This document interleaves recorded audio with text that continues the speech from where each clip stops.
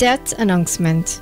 The death is announced of Rasheeda Kadir Surajbali, age 53 years, of Lot 115G, Sumazir Street, Nigg Settlement, and formerly of Lot 19G, King Street, Belvedere Settlement, Corentyne, who died on Saturday, August 19 at the New Amsterdam Hospital.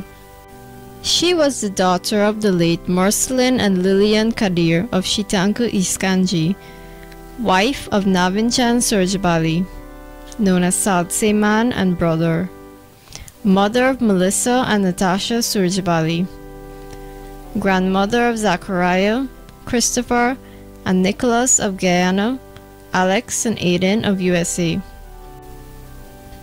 mother-in-law of Vikram and Rizwan, sister of Farida of Florida, Nizam Kadir of Canada, and Imran Kadir of Guyana.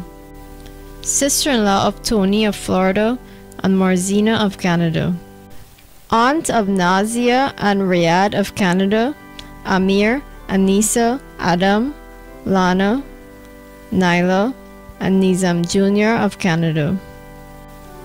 Niece of the Kadir family relative of the Cheddar family of Belvedere Settlement and Sharple of Sharple Furniture Establishment, number 2 Village East Canje.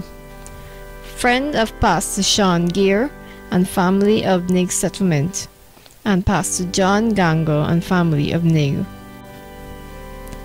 The body of the late Rasheeda Kadir Surajbali will be at her daughter Melissa's residence, lot 115 G, Sur Street, Nigg Settlement, on Monday, August 28th, from 13 hours for viewing. Thence to the Nigg Bible Church for funeral service at 14 hours. Burial will take place at the Hampshire Cemetery at 16 hours. DTV extends sympathy to the relatives and friends of the deceased.